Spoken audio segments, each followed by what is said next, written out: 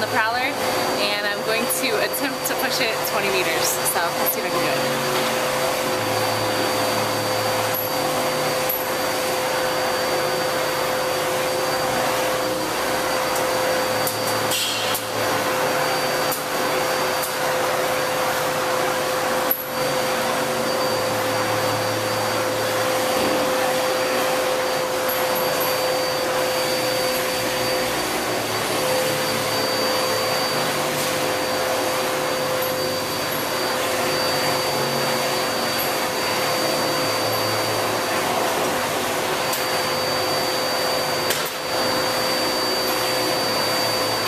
I think the hardest part is the walk back. Train hard, y'all.